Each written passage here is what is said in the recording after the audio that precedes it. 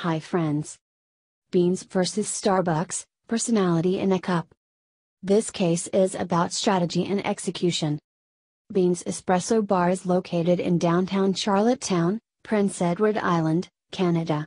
It is operating in a market with high rivalry, 11 other coffee businesses in a two block radius. The economy in Prince Edward Island has seen several diners, restaurants, and coffee shops close their doors within the past few years, while simultaneously drawing in large corporate businesses such as Starbucks and Running Room.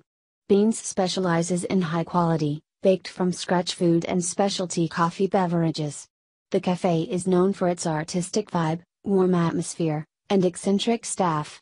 After operating Beanz for 16 years, the couple has made few changes to the decor, menu, the setup. Internally, the company faces several issues concerning management control systems, marketing, and strategic direction. Get your Beanz versus Starbucks, personality in a cup. Case solution at thecasesolutions.com.